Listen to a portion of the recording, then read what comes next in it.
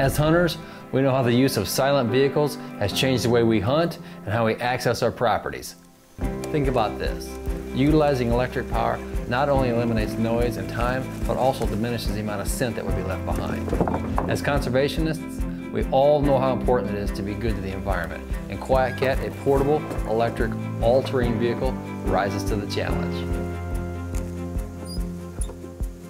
It's constructed of high-grade aluminum which ensures super strength while maintaining an ultra-light weight. QuietKat weighs just over 100 pounds. It's designed to be compact, portable, it collapses to just 30 inches, and can be easily transported in most vehicles. It can produce more than 8 horsepower, climb 20 degree grades, and has a lithium battery that can last up to 50 miles on one charge. QuietKat's lean technology allows for some incredible maneuvering. During season, it's the easiest way for me to move through my farm quickly and quietly, or while I'm checking cameras, scouting, or hanging deer stands. Man, here's the deal. It's October 3rd, and I'm way back in on a farm in a spot that I wouldn't normally be able to get into because a lot of deer would cut my track. I got a trail camera over here.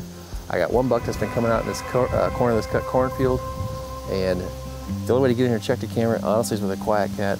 The greatest thing about it is no human scent on the ground, and if he's not on the camera, I'm gonna go ahead and slip out here quietly and move on. So for the hunter that wants the ultimate in stealth, it's gonna be really hard to beat a QuietKat.